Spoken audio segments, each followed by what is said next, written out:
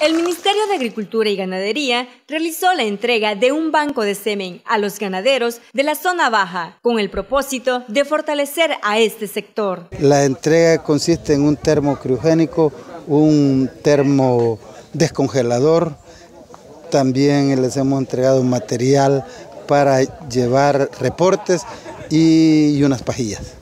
Con este aporte los beneficiados esperan poder aumentar la producción de leche y carne. Es por eso que uno de ellos se sometió varios días de capacitación para poder echar a andar este proyecto de la mejor manera. Ah, o sea, yo soy el, encargado de hacer el trabajo de inseminación artificial porque yo fui a sacar el curso de inseminación.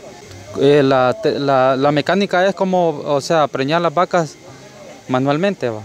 Y para eso eh, los señores del ministerio ahora los han donado un banco de semen donde nosotros vamos a poder este, guardar las pajillas de los semen, de los sementales que nosotros queramos para poder este, este, hacer crecer nuestro vato ganadero. Miembros de la Asociación de Garita Palmera dicen estar satisfechos con este aporte, el cual también viene a mejorar la genética del ganado.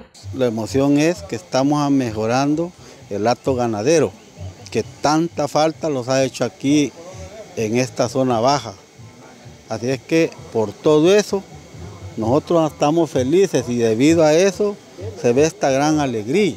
A modo que organizamos la asociación, la legalizamos y llegando hasta este punto que hemos logrado conseguir un banco de semen. Para Carasucia Noticias, Lucia Aguilar.